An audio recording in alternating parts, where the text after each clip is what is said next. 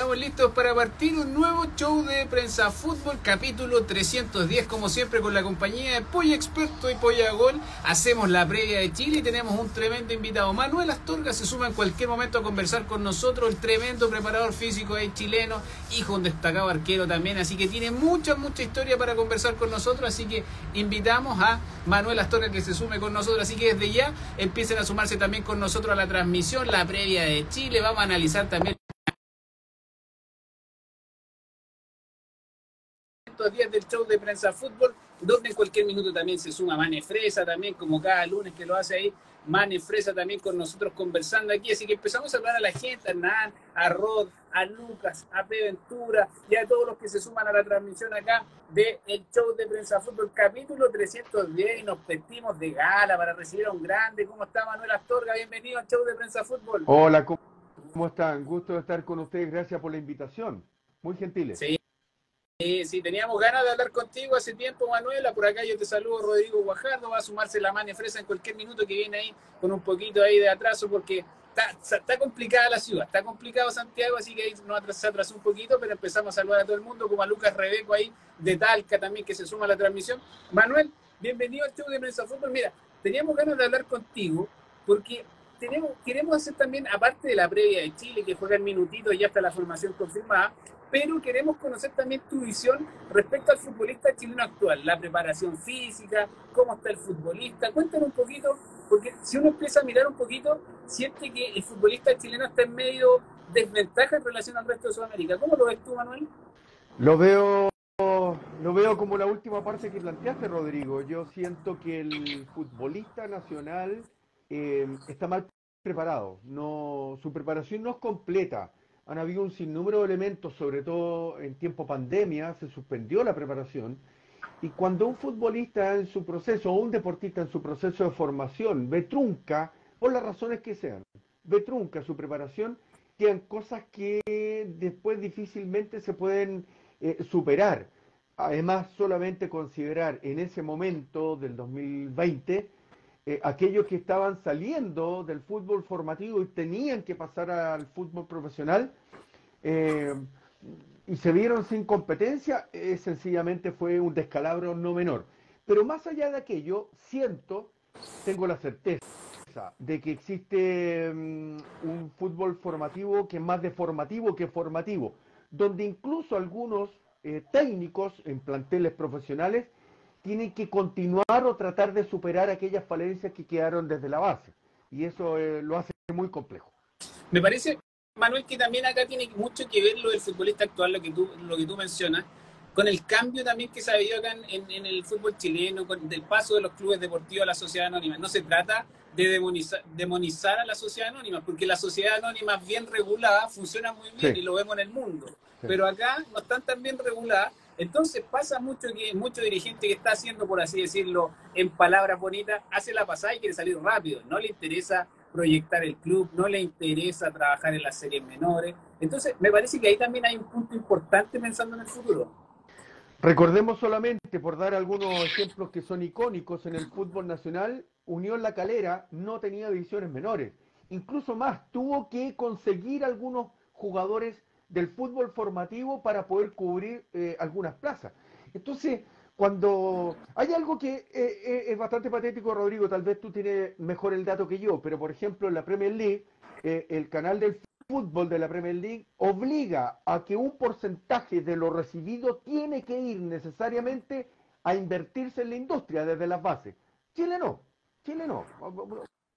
O sea, llega gente, para qué decir algunos empresarios, representantes, que son dueños además de clubes y que hacen la pasa rápida. O sea, Unión, eh, eh, eh, Deporte La Calera, Calera es como un pasadizo para mostrar jugadores y que se vayan potenciando. Traigo algo de Argentina, ya sabemos lo que es Bragarnik y, y, lo que los puntos que calza tanto en la industria argentina como también en México y algunas otras ligaciones que no me quiero meter en esa, en esa problemática. Pero me, a muchos dirigentes del fútbol nacional le importa un reverendo pepino el fútbol formativo. Y lo que tenemos hoy día, el descalabro que tenemos en un fútbol que es precario, donde existen incluso mal manejo de fundamentos técnicos básicos algunos futbolistas que ya son profesionales, es producto de que no se invierte en las divisiones menores. Solamente, solamente, con esto cierro Rodrigo, porque podríamos hablar una vida entera de este problema. Eh, eh, solamente decir que ya se acabó varios fútbol competitivo, tercera división, la primera B, etcétera, y, hay gente que va a quedar sin trabajo. Eh, recuerda el tiempo de pandemia, se suspendió el fútbol formativo, despidieron gente hasta cuando eh, el, el, gobierno de turno o el Estado diera el vamos para que se volvieran a reintegrar fase A, fase B o C, o fase 1, 2 o 3, como quieran llamarla, a la actividad. Entonces, eh, eso es no querer la actividad, eso es, eh, es solo profitar de la actividad.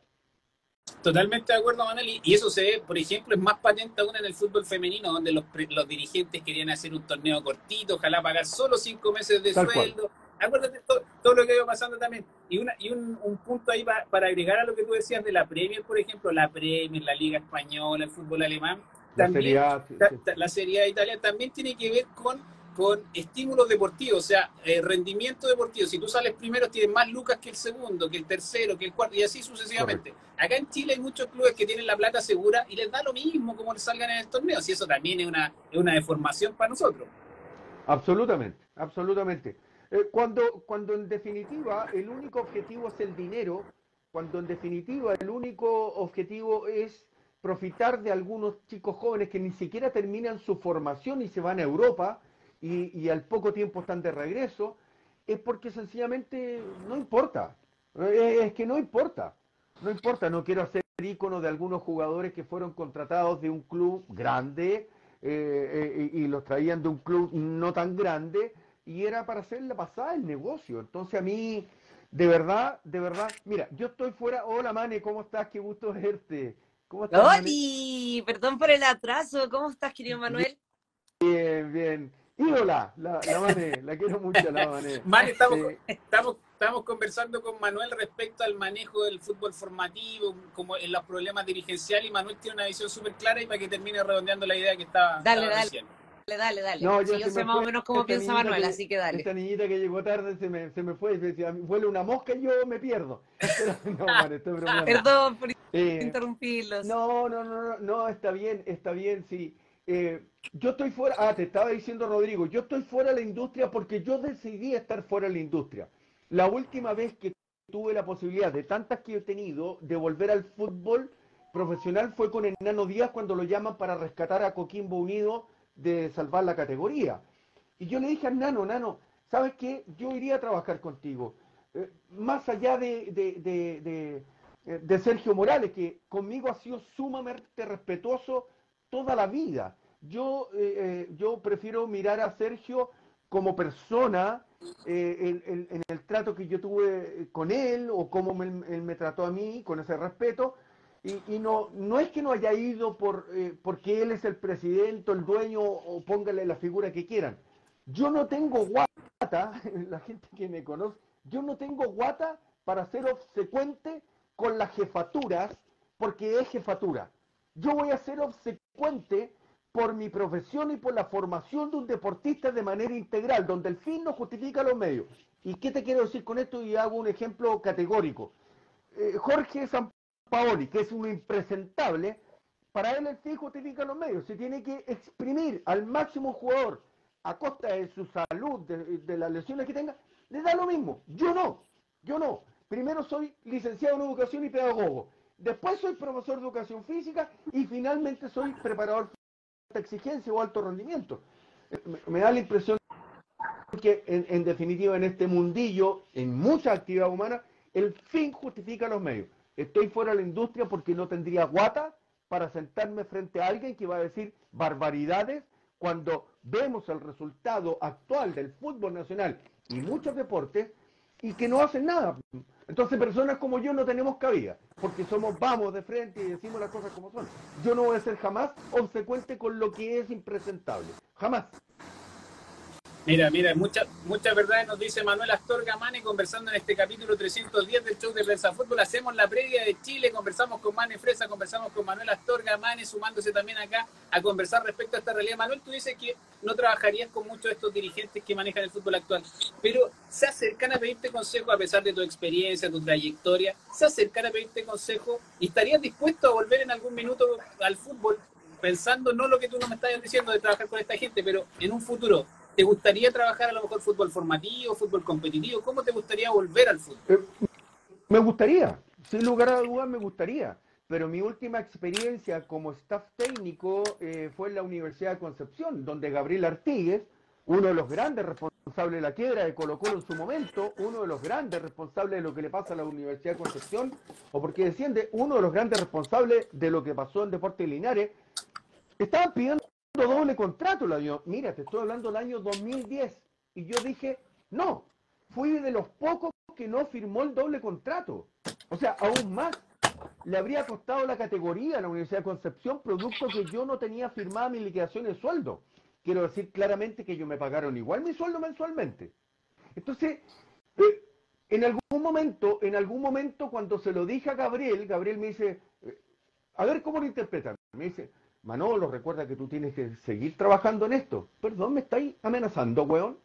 ¿Me estáis amenazando, weón? Entonces, en definitiva, si alguien a mí me pide que yo haga mi trabajo, déjame hacer mi trabajo. Pero no vengas a pedirme que yo, por ejemplo, Audax Italiano, de 12 jugadores que tuve que evaluar, a 9 porque yo era un organismo consultor, no era, no tomaba las decisiones. Yo sugerí que nueve no tenían que ser contratados por ABC motivos. Fueron contratados esos nueve. Entonces, yo no sirvo para el negocio. No te puedo aprobar a un sujeto que viene con sobrepeso, con porcentaje de grasa elevadísimo, consumo de oxígeno bajo, con una lactacidemia que no, le, no resiste 25 30 minutos de alta exigencia en fútbol. Entonces, si yo no tengo problema en trabajar, pero no me pidas no tú, no ustedes, que ese dirigente no me pida que haga trampa, no me pida que haga cosas que van reñidas con lo que yo aprendí y lo que aprendí de vida con mi padre. A mi padre le falsificaron la firma dos veces. Una en Audax Italiano, el año 76, tenía contrato por, por dos años más, decidió colgar los botines y no jugar más y seguir trabajando, perdón, estudiando en la Facultad de Medicina. Y después como kinesiólogo en la Universidad de Chile, presidida por aquel señor René Orozco, hubo 15 falsificaciones de firma en la lista y planilla de sueldo. Una de esas fue la de mi, de mi padre. Entonces, yo aprendí de mi padre ser obsecuente con Jesús, con Dios, con los buenos comportamientos. Sí, con eso sí. Pero no me pidas que haga trampa. Eso jamás lo voy a hacer. Oye, Manuel. Perdón, Mane, recordémosle a la gente, porque aquí nos ven muchas nuevas generaciones, porque nos están viendo por YouTube, por Twitch, por, por, por Instagram Las nuevas generaciones, para que sepan bien, el papá de Manuel Astorga, una leyenda de la Universidad de Chile, arquero del Ballet Azul, histórico de la Universidad de Chile. A él se refiere Manuel Astorga, su padre, Manuel Astorga también, leyenda de la Universidad de Chile, y también ahí viene la ligazón desde pequeño, Manuel, con el fútbol, con el deporte en general, Mane. No, es que le Quería preguntar que, bueno, eso mismo que le pasa a él en, su trabajo, hoy en día se repite mucho en el fútbol, em, si bien no tenemos certezas, tampoco tenemos dudas. Em, el tema de que los dirigentes em, muchas veces arman los equipos o imponen jugadores a los técnicos eh, y finalmente el que no se presta para el circo se queda fuera del circo. Entonces, mm. eh, ¿cuál es para ti una solución posible o si le ves alguna solución a ese problema? Yo veo muy difícil la solución. Solamente hacer una mención, porque uno podría decir, no, traigamos gente que sabe de fútbol. No, pongamos gente que entienda de fútbol. No, pongamos gente... La decencia, la ética y la moral no se compra en la farmacia, se trae desde la cuna. Solamente les recuerdo de 15 jugadores que trajo el señor, abro comillas y cierro comillas, del señor Marcelo Espina a Colo Colo, a Colo Colo, solo uno jugó, solo uno jugó. Blandi, con un sueldo entre 70 y 80 millones de pesos mensuales, alguien, no tengo idea, alguien le manoteaba el 20% de ese sueldo. Entonces, cuando tú dices, voy a traer gente que conozca sobre, porque fueron grandes futbolistas, con el respeto que me merecen muchos futbolistas que son preparados, que son gente que tiene intención de hacer algo más que haberle pegado una pelota al fútbol, muchos de aquellos solo sirvieron para pegarle una pelota al fútbol. Y haber sido bueno para la pelota no significa saber entrenar al fútbol. Una cosa muy distinta, porque todos son Pep Guardiola con el micrófono en la boca, partiendo por Espina y con varios, que dan cátedras. Pero el señor Espina, que entró de mala forma al cuerpo técnico nuestro de Colo Colo, estando nosotros en ejercicio, entró por la, por la ventana de la cocina. Y así le fue mal en la Unión Española, mal con Colo Colo, mal en Everton, mal por todos lados. Entonces uno diría, ¿y hago? Para mí es el ícono, es el ícono de, la mala praxis, este caballero Espina. Eh, pero aquí en Chile le abre la puerta a todos, absolutamente a todos. Y hay, se lo digo con todas sus letras, en Chile hay gente que está trabajando en la actividad y no debería estar trabajando en la actividad. Y hay gente que no está trabajando en la actividad que sí debería estar en la actividad. Raya para sumo la pregunta y respuesta que te doy, Mane, con respecto a esto. La única manera, y lo conversaba con Neve Ninich en algún momento, presidente de Panam Sport, ellos, para poder acabar con la corrupción en, la, en, el Comité Olímpico Internacional, en Panam Sport se exigió clases de ética y moral y hacer una evaluación exhaustiva del historial de esas personas que van a integrar cuerpos dirigenciales. Entonces tú me preguntas a mí, pucha, ¿cómo lo podemos arreglar?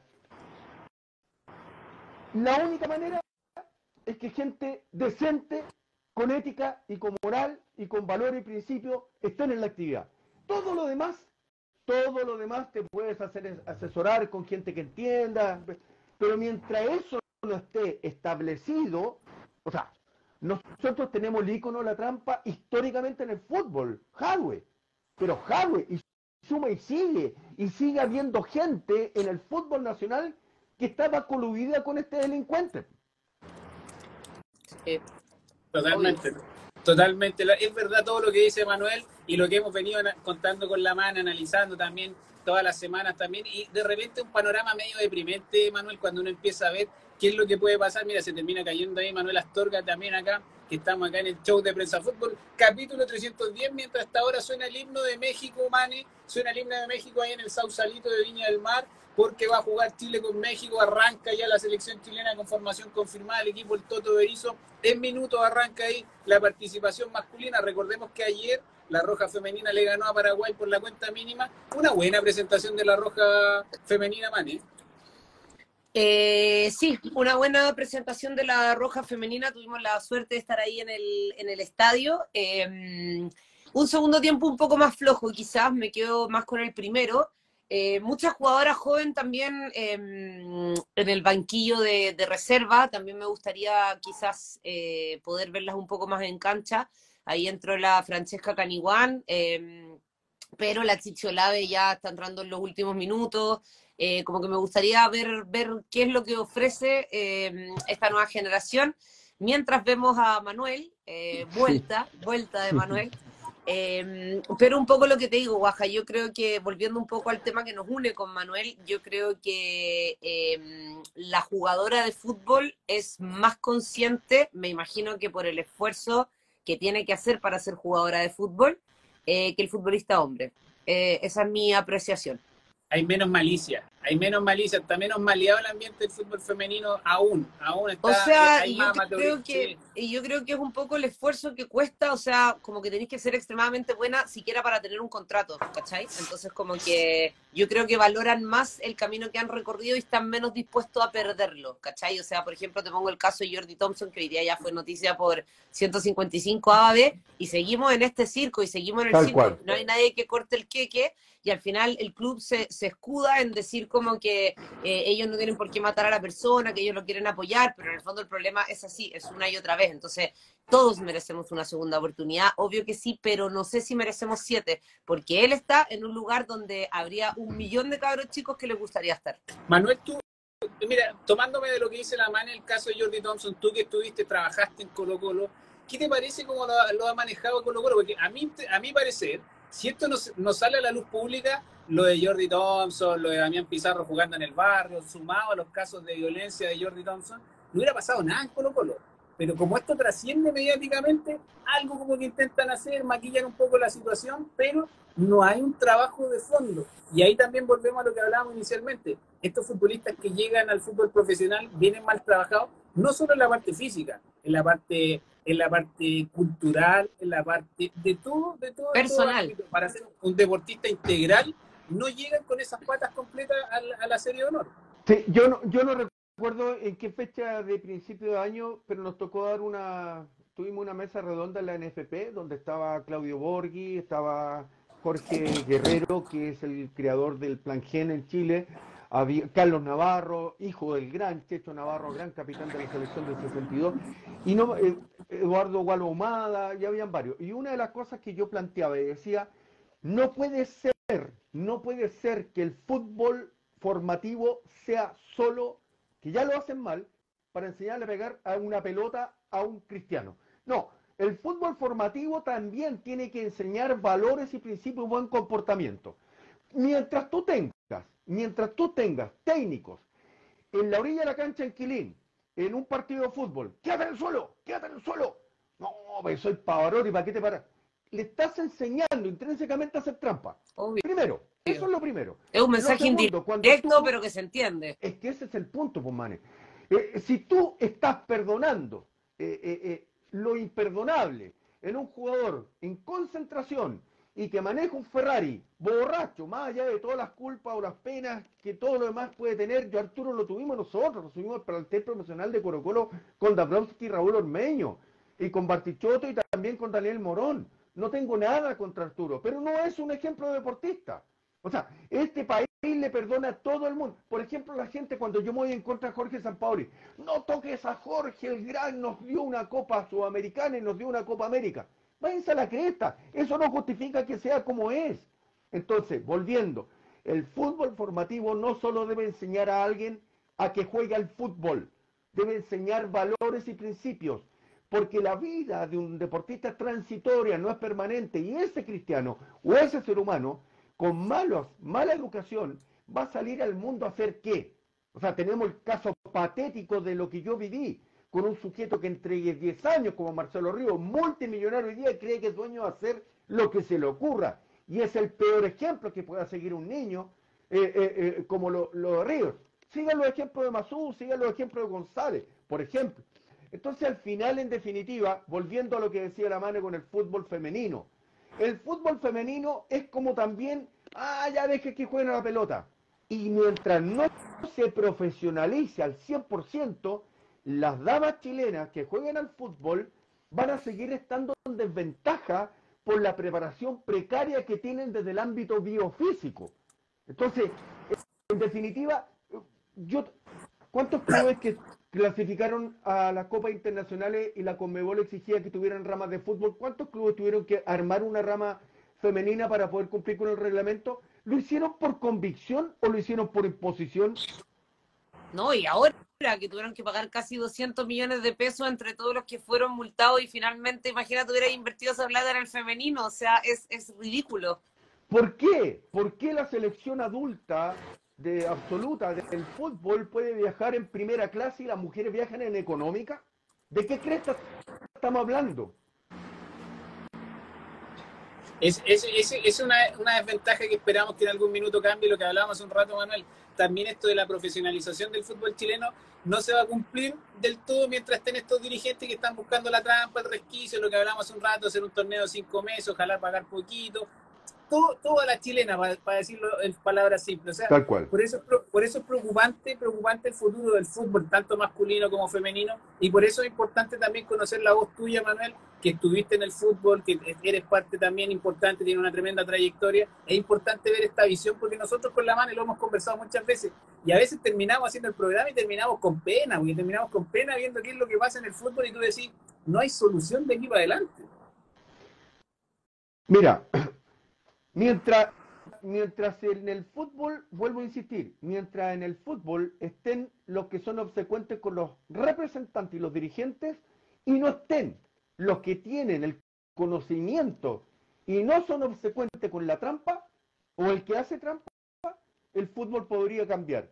El problema está que están es tan grave la situación hoy del jugador eh, eh, eh, joven nacional, es tan grave que para provocar los cambios, por eso yo tengo la esperanza que de Jorge Guerrero, con el plan GEN en Chile, ojalá lo puedan cristalizar, ojalá lo puedan llevar a cabo. Pero los cambios, los cambios demoran tiempo en años. La formación de un atleta, en este caso un futbolista, de un atleta demora tiempo en años. Y cuando comienzas tarde o dejas trunco eh, eh, el proceso porque quisiste buscar a temprana edad rendimiento, todo está mal. Todo está mal. No busquen rendimiento a temprana edad. Hagan actividades polideportivas. Mira lo que hizo el Bayern Múnich después del tiempo pandemia. Se acabó la sub-8, la sub-10 y la sub-12.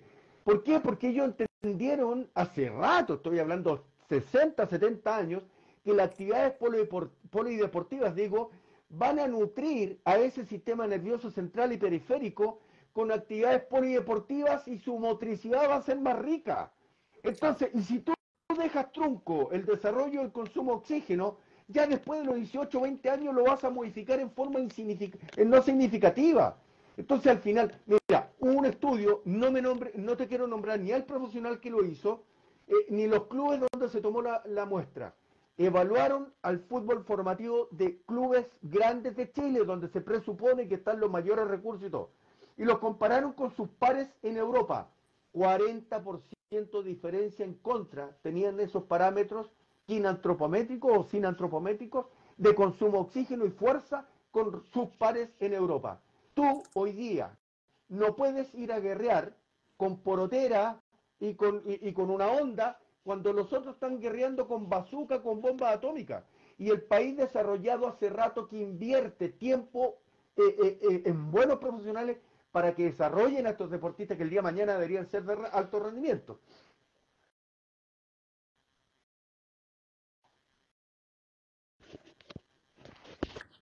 No te escucho, no te escucho. Ahí sí, ahí.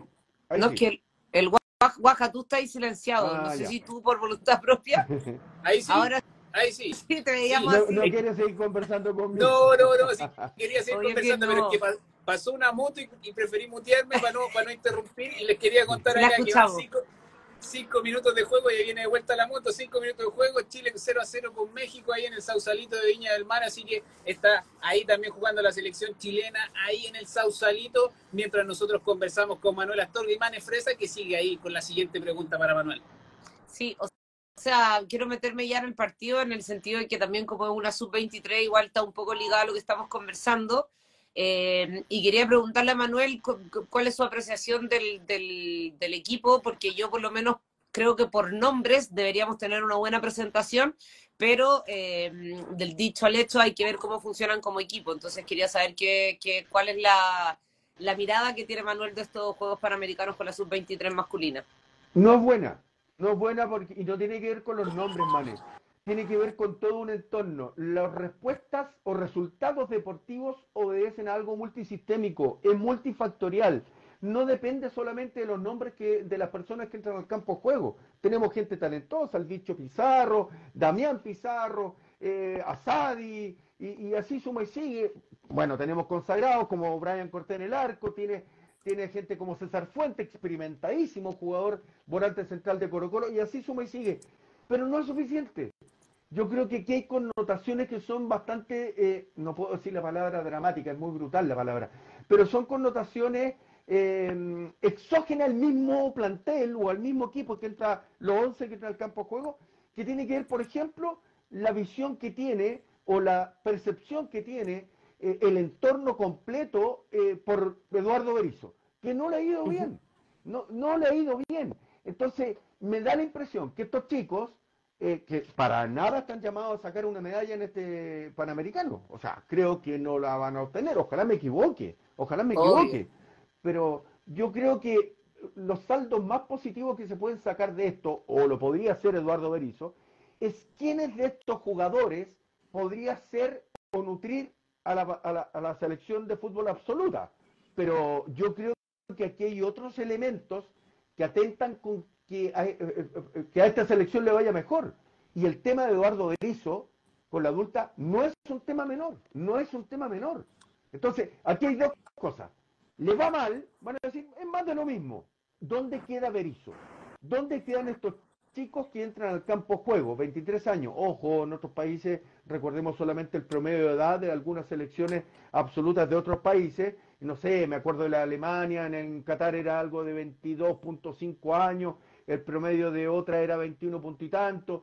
Eh, el promedio de edad de la chilena es altísimo. Entonces, volviendo a estos chicos, estos, estos chicos llevan una carga no menor. Recuerda que los últimos sudamericanos, la selección sub-20 no clasificó a los mundiales.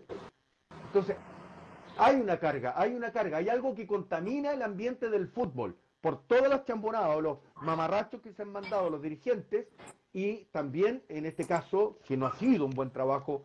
Eh, no digo que no quiera trabajar, porque me da la impresión que es un hombre muy serio, muy responsable, pero no le ha ido bien. Entonces creo que aquí la sub-23 carga con una mochila que no le corresponde. Manuel, y tú pensando en esto del futbolista que hablamos un rato, que los clubes no trabajan de buena manera, pero ¿qué consejo tú podrías darle con tu experiencia a los futbolistas que uno ve que son valores, que son, que son créditos, que uno cree que pueden explotar, que pueden ser figuras en el futuro? Pero, por ejemplo, vemos jugadores como Lucas Asadi, que uno los ve que no están formados completos y terminan siendo suplentes en la selección, suplentes en la U, acaban de anularle un gol a Chile, pero, pero ¿cómo, cómo, ¿cómo podrían dar el salto de calidad ellos si no tienen el respaldo de sus clubes? Un solo consejo le daría a las instituciones y a los cuerpos técnicos, a los dirigentes, adhieran a la ciencia.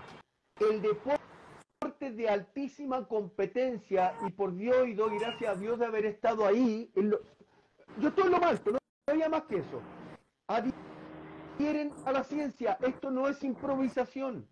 La ciencia es donde se sustentan las grandes, las grandes potencias deportivas. Y no ahora, hace décadas. Y no dos décadas. 60, 70 años atrás.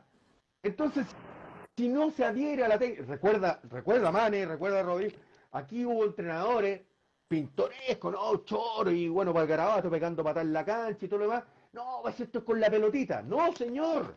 Esto no es con la pelotita. La pelotita es lo último que entra al campo juego y tú, como unidad funcional indivisible, debes ser capaz de administrarla donde hay desempeños biofísicos, desempeños tecnomotrices, desempeños neuropsicofisiológicos y para aquello debes tener gente altamente preparada con conocimientos de, y, con conocimiento y con la aplicación de tecnologías de punta. El mundo del deporte de élite mundial desterró la improvisación hace muchas décadas. Entonces, si los procesos no se comprenden con esta unidad funcional llamada Juanito Pérez o María Estuardo en el fútbol femenino o en el deporte que ustedes quieran, que requiere una formación desde las bases, y aquí está el problema desde la temprana edad, o sea, estamos hablando de la estimulación temprana, jardín infantil, educación básica, educación media, y, y, después todo lo que vemos. Entonces, lo único la única forma de llegar a la élite mundial y sistemáticamente codiarse con aquellos es a través de la ciencia aplicada. Yo trabajé siete años con el Nico Mazú. Lo ninguneaba el capitán de Copa lo ninguneaba el médico, lo ninguneaba esto. No, que tiene un revés morronguero y todo lo demás. Pero ¿sabes qué? El Nico Mazú, teniendo un muy buen forehand, un muy buen servicio, hay algo tenía y tiene que le falta a muchos, que es voluntad para hacer las cosas como corresponde, disciplina y voluntad. Y muchas veces la disciplina y la voluntad es el ingrediente único que te sirve cuando el talento no es tan exacerbado. Otros con talentos inmesurables como Ríos, le bastó, porque su objetivo era el dinero. Y por eso se rompió el desgraciado. No por otra cosa, no porque se haya planificado mal, porque él trabajó con los mejores, el mejor staff interdisciplinario a nivel mundial. Entonces, la voluntad, la disciplina, la entrega, el adherir a la ciencia, te allana el camino y te permite minimizar al máximo el factor de riesgo y no conseguir el objetivo. Si Chile destierra la improvisación, el compadrazgo, el chaqueteo, eh, el ir el ir después al tercer tiempo y vamos con Mina y con todo, perdón que sea tan bruto, pero cuando se destierra aquello y se transite solo por la disciplina eh, con un apego irrestricto a la ciencia aplicada, Chile puede tener más posibilidades de lograr algo. ¿Por qué razón? Porque el talento no basta. Y Chile, por Dios que tiene talento, como muchos en el mundo. Solo el 2% llega a lograr el objetivo en deporte de élite, de élite mundial y olímpica. No estoy hablando de Copa América ni Copa Sudamericana. No, no, no. Estoy hablando de élite mundial. Entonces, y en definitiva, con esto cierro, porque me apasiona con esta cuestión y me da rabia, porque me, enfurece esta cuestión. Lou Holtz, uno de los más grandes entrenadores americanos, decía, tu talento solo determina lo que puedes hacer, tu motivación, que tanto puedes hacer, y tu actitud, que también lo puedes hacer. No te basta el talento, no te basta decir que estás motivado. Lo que tienes que hacer es tener una actitud acorde con el objetivo que te trazaste. Mientras tu sueño sea grande, el esfuerzo tiene que ser más grande y la renuncia tiene que ser más grande. Entonces, tiene que ver con la voluntad. Si no se trata de pegarle bien atrás de a la pelotita o pegar un saque yo tengo buena muñeca. No, señor, no es suficiente. Es esto. Esto para pensar. Corazón para tener pasión y algo de más abajo para poder guerrear. Es la conexión y la sinergia que no se puede dividir para poder tener un atleta de élite mundial. Yo hice dos grandes procesos en este país, uno de 10 años, otro de 7. Uno llegó a ser número uno en el mundo y el otro medalla de oro, eh, doble medallista de oro en, Atenas. Y otros deportistas que no los pescan. La Francisca Probeto, por ejemplo. Eh, eh, los Yantani a, tiempo atrás, los hermanos Miranda. O sea, este país tiene más campeones del mundo de lo que la gente cree. Sí, es, verdad. Es verdad, es verdad, estamos viendo todo eso aquí, ahora en los Panamericanos, viendo también el gran esfuerzo de muchas familias, porque no tiene que ver tanto con federaciones, tanto, sino que hay muchos esfuerzos familiares, personales también. Mira, hay una pregunta que yo creo que sería bueno que la responda Manuel después de que juguemos la cartilla del apoya gol, porque le dejaron acá a Manuel. ¿Es cierto que el jugador chileno rinde a punta de rigor, como decía un ballet?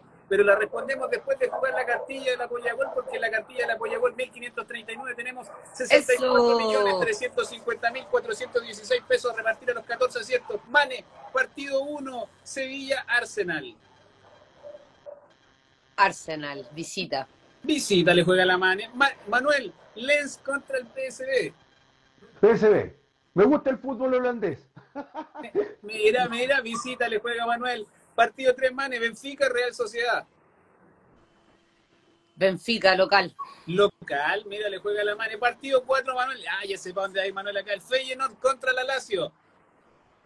No, el Feyenoord. Quiero. Mira, Le, va, a todos los neerlandeses, Manuel. Partido cinco manes, Celtic contra el Atlético Madrid. Uh, Atlético Madrid visita. Visita, le juega la mano. No se olviden de los empates, les digo yo siempre, siempre. Manuel, Paris Saint Germain contra el Milan. Uf, duro, duro. Voy por el Milan, fíjate. Sí, sí, yo tampoco, le creo poco a este Paris Saint Germain de Luis Enrique. poco. Partido 7, Mane, el Antwerp contra el Porto. Eh, Porto. Visita. sé que tú sueñas un empate, pero Porto. Sí, sí. pero en algún vamos, vamos, a tener algún empate. Partido 8, Manuel. Olympiacos contra el West Ham. Olympiacos local, le juega Manuel. Partido 9, Mane, el Lugano contra el Brujas. Lugano contra el Brujas. Aquí te regalo un empate. Empate, bien, Mane, bien. Ahora sí que vamos a ganar esta cartilla. Partido 10, Manuel. AZ Akmar contra el Aston Villa. No, me pilla, no he visto ninguno de jugar, pero Aston Villa. Vamos a ver, vamos a ver si puede. Aston Villa visita, le juega Manuel. Partido 11, Mane, Unión de Santa Fe contra Defensa y Justicia. Defensa y Justicia y ojalá Lubita venga a jugar a Católica, es mi sueño. Visita, le juega la mano. Partido 12, Manuel Racing contra Boca. Boca. Boca visita, Boca y el finalista de la Libertadores, que la gente lo va a estar viendo ahí con los que vayan al Experto Experience ahí en el Maracaná contra Fluminense. Partido tres semanas, Barracas contra Gimnasia. Te regalo un empate, Guajardo. Empate, dice la mano. Y el último partido de la cartilla, 1539, Manuel. Tucumán contra Talleres. Talleres. visita le juega a Manuel, entonces hágale caso a la Mane, hágale caso a Manuel y se puede ganar 64.350.416 pesos a los 14 aciertos de la Polla Gol. Y si no, también vaya y juega los partidos únicos de expertos. Tiene una tremenda, tremenda cartelera con expertos, desde 500 pesos en experto.cl, en la aplicación mobile, en todas las agencias de Polla, porque con expertos vive nuevas experiencias, como todos los que van ahí al Experto Experience, ahora sí la jugar ahí, a ver jugar ahí la final de la Libertadores entre Boca Fluminense y jugar una pichanquita con Cafú, ¿o no, Mane? Obvio que sí, pues espero que algún día yo sea ganadora de esa experiencia como parte del staff de Prensa Fútbol. Así que si Felipe me estás mirando, este mensaje va para ti. no, la madre tiene muchos compromisos, así que voy a tener que sacrificar yo si hay Oye, para ir ahí. sacrificarte, ya hay como cuatro años sacrificándote, basta. Manuel, había quedado una pregunta pendiente para ti. ¿El jugador chileno rinde a punta de látigo, como decía Bon Eso es caricaturizar lo que significa el rigor de ser deportista de élite. El deportista de élite, verdaderamente de élite, no estoy hablando del deportista de competencia, son dos cosas distintas. El de élite verdaderamente trabaja en el rigor, trabaja en el exceso. Entonces, habría que, que en paz descanse Eduardo, habría que preguntar qué significa el rigor. Si ser deportista de competencia es rigor, ser deportista de élite mundial es rigor, es capacidad de renuncia ante la vida normal, haces cosas en tiempo en que otros descansan y tú tienes que privarte, llevas a tu organismo desde el ámbito biofísico al límite, llevas tu, psiqui, tu condición psicológica al límite, trabajas permanentemente en el rigor. Yo no entiendo, no entiendo un deportista de élite, mal llamado de competencia alguno, porque creen que son de competencia, son de élite. O sea, el fútbol chileno no es de élite. El fútbol chileno es de fútbol competitivo. Se compite. El fútbol escolar es competitivo, se compite. Pero de élite, ¿qué significa ser de élite? Habría que definirlo a nivel eh, comunal, regional, a nivel nacional, a nivel sudamericano, panamericano, eh, a nivel mundial o olímpico. Entonces hay que definir, el deportista de élite es solo rigor, solo disciplina. Por lo tanto, habría que ver a qué le llaman rigor. Quien no está en el rigor, en la élite mundial, no es de deportista de élite. Es todo rigor. Por lo tanto... Yo creo que tiene que ver también con que uno ve que de repente muchos futbolistas locales no vive ese rigor, no vive esa disciplina, no vive ese cuidado de lo que hemos estado conversando a lo largo de este capítulo que pasó volando con Manuel Astorga. Y por eso, como pasó volando, la Mane le tiene un regalo a Manuel Astorga. ¿No es cierto, Mane, para que vaya a Vikingos Barber Club? Obvio que sí, pues vamos a invitar ahí a Manuelito porque eh, lo van a estar esperando de José Victorino Las Tarrias, donde le van ahí a hacer un un empareje de barbita, un corte de pelito, no tiene que ser corte moderno, Manuel, para los jóvenes sí, para tú, lo que tú quieras, pero va a ser un regalo eh, de prensa fútbol con todo nuestro cariño, eh, estamos muy agradecidos que nos haya acompañado y también a toda la gente que, nos estuvo mirando durante el programa. Eh, pueden ir y si dicen que vienen de parte de Prensa Fútbol, les vamos a regalar un 10% de descuento en todos los servicios que, que quieran. Así que José Victorino Lastarria, 290, oficina 304, arroba vikingos barber en Instagram. Ahí pueden también em, anotar la hora. Y para Manuel, un regalo, una invitación gratis para que vaya ahí a atenderse en la mejor barbería de Santiago. Y el regalo, regalos de verdad, Manuel, no es como los programas que te dicen que te regalan algo y es mentira. Este es verdad, así que Nico Indo que hizo toda la producción y le agradecemos. Te contactas con él cuando quiera ahí para que pueda cobrar ahí su, su regalo, Manuel. Yo te quiero decir también que Fútbol de Culto es la tienda de prensa fútbol donde los futboleros encuentran todo lo que están buscando. Libros, poleras, juegos de mesa, artículos para los deportistas profesionales, los futbolistas amateurs, todo en fútboldeculto.com, la tienda de prensa Fútbol Mane, donde también tenemos ahí muchos, muchos regalos cada semana y lo que queremos hoy día es agradecerle ahí a Manuel Astorga por la tremenda conversa, pasó volando, dan ganas de seguir conversando y repetirlo también más adelante, Manuel, porque es un agrado escucharte y sacar estas lecciones también pensando en la mejora del fútbol chileno. Yo, yo, yo feliz, yo feliz, vuelvo a insistir, Rodrigo, eh, solo los lo, veía a, ustedes, por lo sigo en las redes sociales, posteo cosas que ustedes postean y todo lo demás, y esta señorita que está ahí al frente, la Mane, eh, yo, yo la admiro mucho y, y te mando un abrazo Oh. enorme. Me debe, me debe una entrevista también esta niñita, pero, Yo, pero no. sí, ¿cómo? Tú- yo, yo te entrevisté No, que- ¿cómo me vas a entrevistar Mane, tú a mí? que nunca, no, nunca nos pusimos de acuerdo, pero yo, eh, yo te admiro mucho, admiro mucho a ustedes el periodismo que hacen, los sigo, adhiero a muchas cosas de las que plantean y les doy las gracias por eh, haberme permitido estar con ustedes en una conversación eh, súper agradable. Rodrigo, un placer conocerte así, tal vez nos vamos a ver eh, algún día personalmente. Mane, un abrazo enorme también, ídola, te quiero mucho, así que cuídense. Gracias, Manolito. Espero que tengas un muy lindo fin de día, que tengas una linda semana y acá siempre las puertas van a estar abiertas para cuando quieras venir a conversar Cuando con ustedes quieran. Cuando ustedes, que ustedes cuando quieran. No hay problema. Eh, agradecido, Manuel, un abrazo grande para ti, un abrazo, un abrazo grande para ti, Mani. Vamos, Chile ahí que está empatando 0 a 0, están jugando los primos Grimal también, están ganando, así que vamos con todo el deporte chileno, nuestros panamericanos Santiago 23. Un abrazo, que estén muy bien. Chao, chao. Chao, que estén bien. Chao, Manolito. Un abrazo.